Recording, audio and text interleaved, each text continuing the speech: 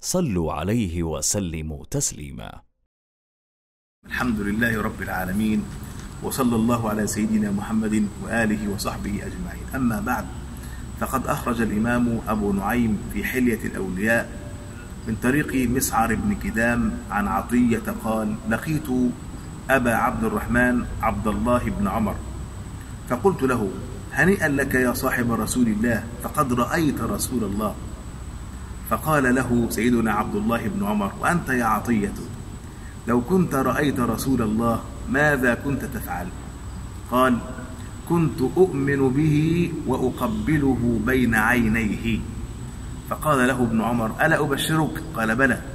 قال سمعت رسول الله صلى الله عليه وآله وسلم يقول من خالط حبي قلبه حرم الله جسده على النار هنيئا لكم يا محبي رسول الله. فقد هلت لياليه وهلت ساعات البركة والنور التي تعيد إلينا ذكرى مولده صلى الله عليه وسلم لنتنسم نسماتها العاطرة المباركة.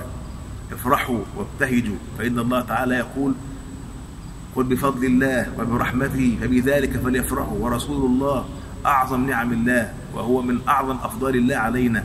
وهو رحمة الله المهداة إلينا فالفرح به واجب وليس الاحتفال والاحتفاء مقصودا لذاته وإنما المقصود هو إحياء الانتماء إلى النبي صلى الله عليه وآله وسلم من خلال إحياء هذه الذكريات المباركة الطيبة.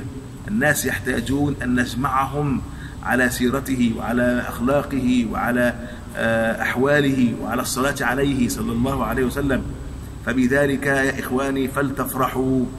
وإذا كان أبو لهب يخفف عنه العذاب في كل يوم اثنين لفرحه برسول الله فما بالك بمن يفرح به؟ أبو لهب فرح بمولده عليه الصلاة والسلام في ساعة فخفف الله تعالى عنه بذلك العذاب.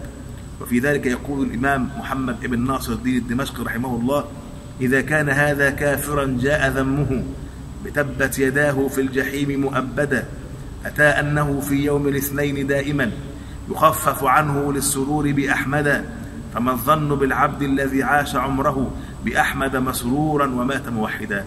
اللهم احينا على ملته وتوفنا على شرعته واجعلنا من أهل خصوصيته وأقمنا يا ربنا في محراب محبته واجعلنا تحت نظره الشريف ومحل رضاه وأدبنا بأدابه وخلقنا بأخلاقه وعلمنا من علومه وفهمنا بفهومه واسق كل جواهر ذواتنا من أنوار ذاته النبوية الشريفة.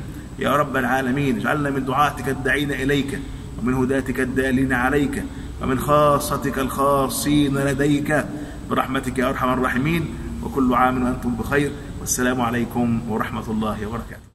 تفضل بزيارة موقع الحملة فاذكروني دوت كوم.